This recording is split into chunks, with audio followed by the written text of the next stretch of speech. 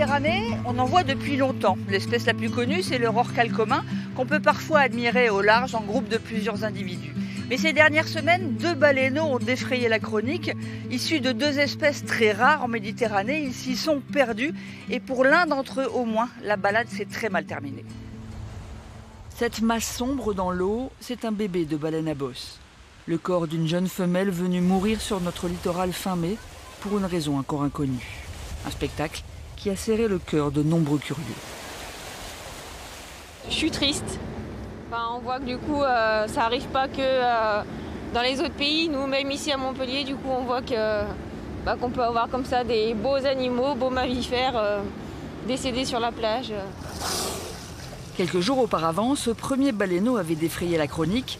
Il s'agit d'une jeune baleine grise qui a longé les côtes du bassin méditerranéen pendant des mois. Comme la baleine à bosse, elle n'a rien à faire sous nos latitudes et croise normalement très loin d'ici. Il existe bien d'autres baleines qui vivent en Méditerranée, mais beaucoup de gens l'ignorent. Est-ce qu'il y a des baleines en Méditerranée? Euh, je... Non, je crois pas. Vous pouvez me citer une espèce? Euh, J'en connais pas. Est-ce que vous savez qu'il y a des baleines en Méditerranée? Eh bien, euh, je ne savais pas, non. Je savais pas. J'ai appris ça il n'y a pas longtemps par la presse, donc il y a eu ce baleineau qui s'est perdu un peu dans le port de Sète, mais non, je n'étais pas au courant. Commun, cachalot, baleine à bec sont les espèces les plus fréquentes dans la Grande Bleue. On y compte aussi cinq espèces de dauphins.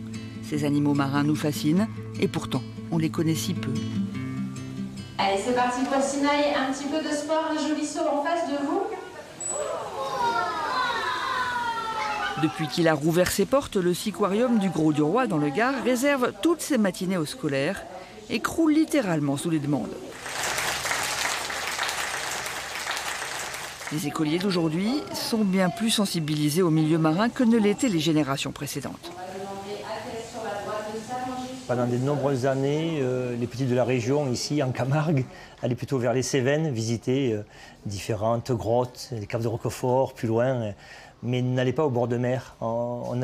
ça nous suffisait peut-être d'y habiter à côté, d'être à côté, et on ne s'y intéressait pas aujourd'hui. Il y a des professeurs vraiment ici qui travaillent euh, sur des programmes, et on les assiste, on travaille avec eux. Et donc là, il y a une vraie volonté de faire découvrir euh, ce milieu qui est très proche, mais qui est peu connu en réalité. On est avec les enfants, c'était pour leur faire découvrir un peu les, euh, les fonds marins, et voir les poissons, les requins et surtout les tortues. À l'avenir, le Siquarium compte accentuer ses missions éducatives et œuvrer davantage pour la préservation du milieu marin. Est-ce que les requins, ils ont l'habitude de voir des humains sous l'eau? Non. Jamais? Jamais? Certains de ces biologistes font partie du réseau national échouage. C'est le cas d'Elodie Sen qui a participé au remorquage de la baleine à bosse.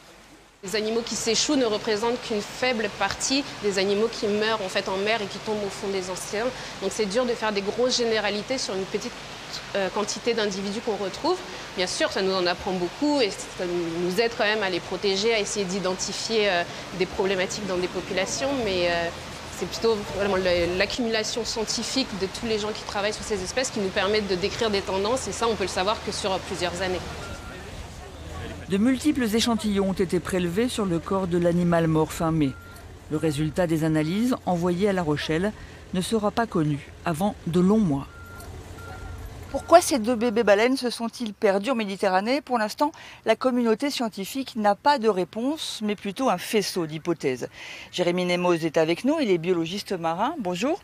Alors vous, vous avez participé à l'autopsie de la baleine qui est malheureusement euh, morte sur nos plages, une baleine à bosse. Quels sont les enseignements qu'on peut en tirer Alors, de sources sûres, on sait que c'est une femelle, qu'elle faisait 7,60 m, on a pu la mesurer parfaitement. Du coup, on sait aussi qu'elle avait des lésions sur les poumons, par contre, on ne peut pas en déduire pour l'instant de quelle maladie il s'agit, puisqu'on a besoin d'avoir des retours des prélèvements qui ont été faits. Et on peut dire aussi qu'elle n'avait pas mangé avant de mourir. Mais dire qu'elle est morte de faim, c'est aller trop loin. Non, c'est juste aller un petit peu trop tôt. Pour l'instant, on n'a pas de confirmation là-dessus. On sait juste qu'elle est morte sans avoir mangé. Mais on sait aussi qu'elle n'a pas été euh, victime d'un accident. Non, on sait parfaitement qu'elle n'a pas été blessée, il n'y avait pas de choc du tout, donc ce n'était pas un accident si elle est morte.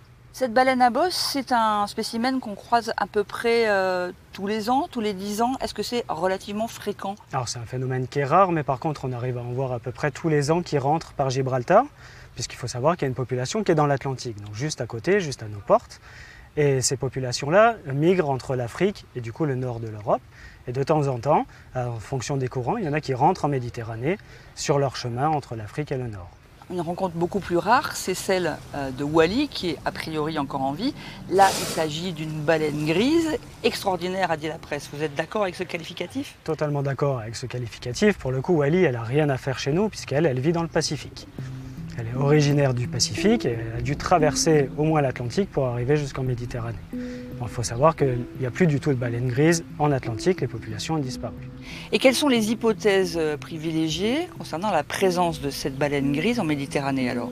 Alors du coup, on pense que ça peut être à cause du réchauffement climatique, que du coup elle a pu traverser par le détroit de Bering et se retrouver côté Atlantique, et puis ensuite, par un phénomène de, suivi de courant, elle a dû se retrouver au nord de l'Afrique et rentrer en Méditerranée. À partir du 24 mai, on n'a plus de signalement, elle était à Minorque et on l'a perdue. Les baleines comme les dauphins fascinent les foules. Wally, le baleineau de baleine grise, en a fait les frais lors de son périple en Méditerranée. De trop nombreux curieux l'ont approché, ce qui n'était vraiment pas une bonne idée vu l'état de faiblesse de l'animal. Les biologistes marins vous le demandent, vous le recommandent, même si c'est tentant. Si vous voyez un mammifère marin, laissez-le passer en paix, évitez de l'approcher.